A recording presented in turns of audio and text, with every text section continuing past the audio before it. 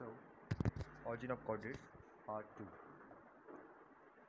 Uh, theories of invertebrate ancestry of the chordates.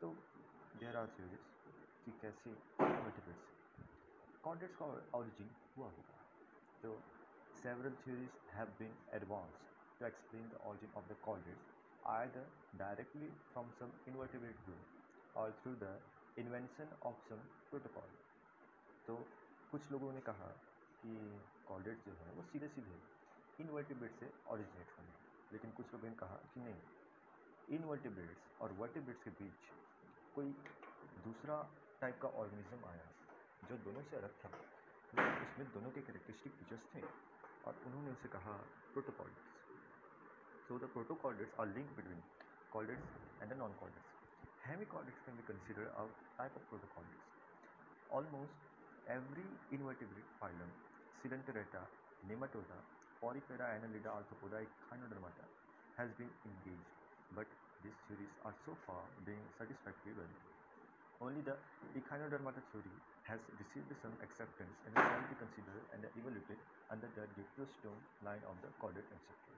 तो जितने भी फाइलम्स थे इन्वर्टिब्रेट्स के क्या निमाटोडा पॉलीफेरा तो इन सबको पहले जोड़ा गया जोड़ के देखा गया कि कहीं इनसे तो कॉर्डेट्स का ऑरिजिनेशन तो नहीं हुआ होगा। और सब में कुछ कुछ थ्योरीज बनी थी, लेकिन सबको डिस्कार्ड कर दिया गया। आखिरी में खाली ई खाइनोडर्माटिस जो स्टार केसेस थे। उनसे हमारी एंसेक्ट्री का काफ़ी क्लोज रिलेशनशिप देखने को मिला। और इसलिए हम उसी को ही मान के चलते हैं कि इखानोडर्माटा का जो लार्वा था that undergo सुडोमार्कोसिस but that is not point है यहाँ पर पॉइंट है इकानोडर्माटा जो है, इसमें ड्यूटेरोस्टोम यानी जो माउथ है वो एनएस के बाद बनता है। तो वहाँ से एक पॉइंट मिला। Echinodermata has been engage only the echinodermata theory has received some acceptance and shall be consider echinodermata considered as evaluated under the deuterostome line of chordate ancestry under the deuterostome line of the chordate ancestry ये एक point है कि कैसे origin हुआ होगा। और उसी को हमको तो आगे देखना है। So several workers have been attempted to explain the deuterostome line of deutero ने ड्यूट्रो होगा this line of the chordate evolution some of the pro proposals are तो बहुत सारे एम शक्ति के बारे में हमको पढ़ना पड़ेगा। लेकिन इतने मुश्किल नहीं है सिंपल सिंपल पॉइंट्स में। एक है थर्मोडर्माटा एंसेक्ट्री फिर हैनिकॉलेट एंसेक्ट्री फिर यूरो यूरोकॉर्डेट सिफेलोकॉर्डेट एंसेक्ट्री और लास्ट में फिर से लास्ट टाइम वाला एक पैराग्राफ है। देखते हैं। इखाइनोडर्माटा एंसेक्ट्री यानी स्टार केसेस से हमें कैसे जोड़ा जाता है। On the basis of the anatomical embryological palaeontological biochemical and serological evidences तो बहुत सारे डिफरेंट डिफरेंट एविडेंसेस से हमारा जो इखाइनोडर्माटा से रिलेशनशिप ये देखा गया। तो बाहर से शुरू करते हैं, बाहर में क्या होता है मॉर्फोलॉजिकल एक्सटर्नल मॉर्फोलॉजी नहीं कहूँगा, खाली मॉर्फोलॉजिकल फिर इंटरनल एनाटॉमिकल फिर बायोकेमिकल फिर प्लियोबॉटनिकल सॉरी प्लियो नहीं प्लियो प्लेंटोलॉजिकल यानी कि फॉसिल्स एक्सेट्रा तो इन सब एविडेंसेस को एक आधार बनाकर खाइनोडर्माटा को कॉर्डेट्स के साथ जोड़ना, जोड़ने की कोशिश की गई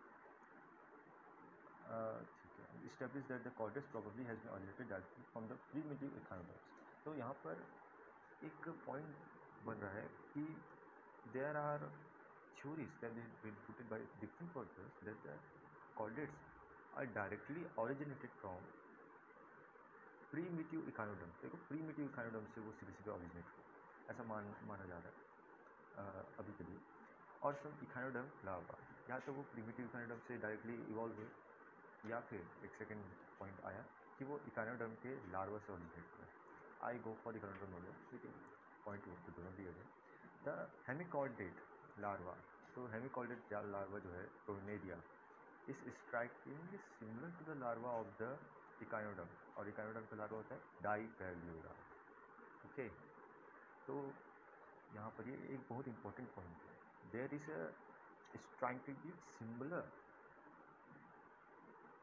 characteristic features between the larva of the hemichordates that is tornaria larva, and the larva of the echinoderm. इकहत्तर के अलावा क्या है? बाई करेगा तो दोनों के दोनों छोटे हैं, लेकिन लिखा हुआ है। It was in fact mistaken for an इकायोडम when first discover both are small transparent free swimming and a bilaterally symmetrical सब के सब, यानी दोनों के दोनों तो नेरिया एंड बाई प्लेजर दोनों के दोनों छोटे होते हैं। दोनों के दोनों ट्रांसपेरेंट होते हैं, दोनों के दोनों में बायोलेट्रल सिमेट्री होती है। ओके तो यहीं से शुरू में तो ऐसे लगे कि दोनों सेम है, लेकिन अलग है। Both have similar ciliated bands ciliated band दोनों में सेम है। दोनों में डॉर्सल पोर है, दोनों में सेंसरी सीलिया है। Anterior in another complete digestive system of ventral mouth and the posterior है बहुत सारे पॉइंट्स हैं तो और क्या क्या पॉइंट्स है both tornaria and bipinnaria bipinnaria okay bipinnaria है।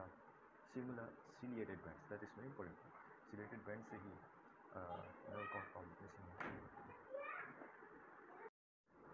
so it is part 3 of the uh, chordates. Uh, I have to left the second part because of some obstacle. So we are in echinoderm and we are talking about the auricularian larva. Uh, there are two larvae. One is Tornaria larva and another is Bipleural larva. Tornaria larva is of hemichordate, Bipleural is of larva. Both resemble to each other in many disciplines. Like they have small size, they both are transparent, both are bilaterally symmetrical and uh, they are both are uh, free swimming. They have ciliated ba bands which resembles uh, very similar. They have uh, uh, what it is called uh, here it is dorsal pore. Okay, they have dorsal pore. They have complete digestive system with ventral mouth and the posterior anus, which is also important for the evolution into the cortex. Okay. So they have sensory uh, okay. But they have many similar characteristics which lead the Brainstorm and Mueller to suggest that the chordates are originated from the echinoderms and that this gives idea to the Garsten and uh, the De Beer that uh, there is a neoten okay the term neo-Linus larva theory neo-Linus larva theory given by Garsten and the uh, De Beer, it states that uh, the larva जो original larva था इकानोडर्माटा का वो है that undergo some kind of variation they call this variation a neolineus type variation जिसमें क्या होता है कि जो लार्वा होता है ऑरिकुलरियन लार्वा जो ओरिजिनल लार्वा जो है that forms gonads okay and becomes sexually mature. हालाँकि वो भी बच्चा है, लेकिन that become sexually mature that is of और सेक्सुअली मेच्योर होने के बाद they become sexually mature and later this neotenic larva give rise to the तो सेक्सुअली मेच्योर हुआ सेक्सुअली मेच्योर होने के बाद वेरिएशन हुआ, कई ठो उसके बाद उसने कॉर्डेट्स कॉर्डेट की करेक्टरिस्टिक दिखाने शुरू किया और कॉर्डेट्स बन भी गया। तो लेकिन आजकल, आज के ज़माने में the relationship between the chordates and the echinoderm नहीं माना जाता कि वो, हम जो कॉर्डेट्स हैं, वो इकोनॉम से ऑरिजिनेट हुए या कोई नियोलिनस लार्वा कुछ था, ये सब कुछ नहीं माना जाता। साफ़ साफ़ लिखा हुआ है।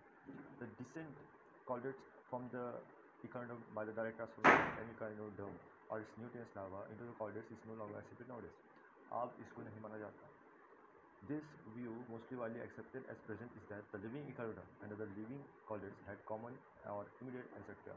हमारे बीच इकाइनोडर्म्स और कॉलेट्स की सिर्फ़ एक ही रिलेशन है कि दोनों के जो एंसेस्टर्स थे वो वो सेम है इसके अलावा और कोई हमारे बीच रिलेशनशिप नहीं है okay so that is the part three of the origin of the chordates the remaining of the echinoderm ancestry next we are going to study about hemichordate ancestry okay